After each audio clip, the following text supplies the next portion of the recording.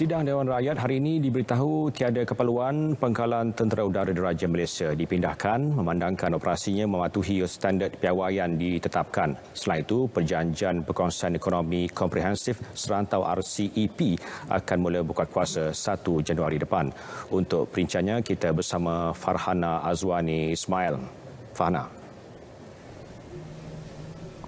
Baik Syah, uh, semua landasan terbang uh, di pangkalan-pangkalan tentera udara diraja Malaysia TUDM adalah mengikut uh, standard piawaian uh, pertubuhan penerbangan awam antarabangsa. Standard piawaian uh, tersebut diaudit secara berkala oleh uh, Civil Aviation Authority Malaysia CAM dan TUDM. Justru uh, jelas uh, Menteri Kanan Pertahanan Datuk Seri Syamuddin Tun Hussein tiada keperluan uh, untuk memindahkan pangkalan TUDM sedia ada walaupun uh, berada di lokasi penduduk berkepadatan tinggi selagi ianya menepati seperti piawaian.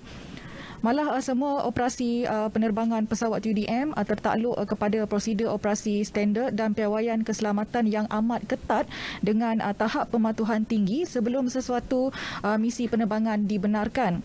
Antaranya uh, prosedur piawaian anak kapal dan prosedur kejuruteraan berdasarkan Standard Aviation Authority dalam negara yang mematuhi uh, piawaian ditetapkan Original Equipment Manufacturer OEM adalah merupakan prosedur operasi standard SOP bagi operasi penerbangan pesawat di samping piawaian ketat yang ditetapkan oleh IKO bagi kesemua perkalaan UDM. InsyaAllah pihak Mendef dan ATM akan berusaha untuk menambah baik SOP-SOP dan langkah-langkah keselamatan sedia ada demi memastikan keselamatan anggota dapat dipertingkatkan. InsyaAllah. Beliau menjawab pertanyaan Wakil Hulu Langat Datuk Hasanuddin Muhammad Yusof. Baik, sementara itu, uh, Datuk Seri Hishamuddin turut memaklumkan uh, kerajaan telah merancang secara sistematik penggantian pesawat Hawk 108-208 seperti digariskan dalam Pelan Pembangunan Keupayaan TUDM. Proses penggantian juga dimulakan dengan meluluskan perolehan baharu Fighter Lead in Trainer Light Combat Aircraft melalui Rolling Plan 1 tahun 2021. Tender terbuka antarabangsa perolehan ditutup 6 Oktober lalu dan kini dalam proses penilaian.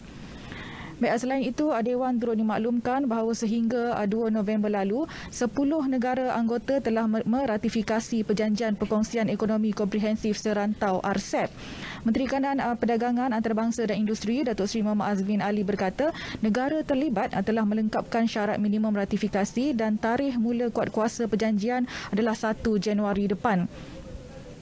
Namun penguatkuasaan hanya terpakai ke atas 10 negara tersebut sahaja. Ah, ini melibatkan negara Singapura, China, Jepun, Brunei, Kemboja, Laos, Thailand, Vietnam, New Zealand dan Australia. RCEP akan buka kuasa 60 hari selepas sekurang-kurangnya 6 negara anggota ASEAN dan 3 negara ah, rakan FTA ASEAN menyerahkan surat cara ratifikasi kepada Sekretariat ASEAN.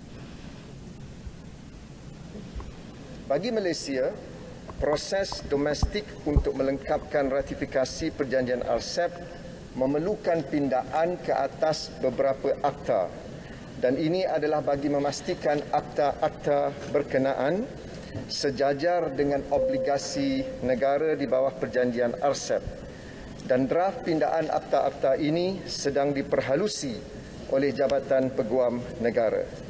Setelah pindaan tersebut diluluskan, seterusnya Malaysia akan menyerahkan surat cara ratifikasi atau Instrument of Ratification kepada Sekretariat ASEAN. Seperti uh, termaktub dalam perjanjian RCEP, uh, 60 hari selepas tarikh uh, surat cara ratifikasi dihantar ke Sekretariat ASEAN, perjanjian tersebut akan buka kuasa ke atas Malaysia. Beliau menjawab pertanyaan uh, Wakil Bukit Bendera Wong Hon Wai. Baik, seperti biasa ketika ini uh, Dewan sedang berhenti berehat dan akan sambung semula sesi perbahasan pada pukul 2.30 petang nanti. Sekian dari Parlimen, kembali bersama Syah.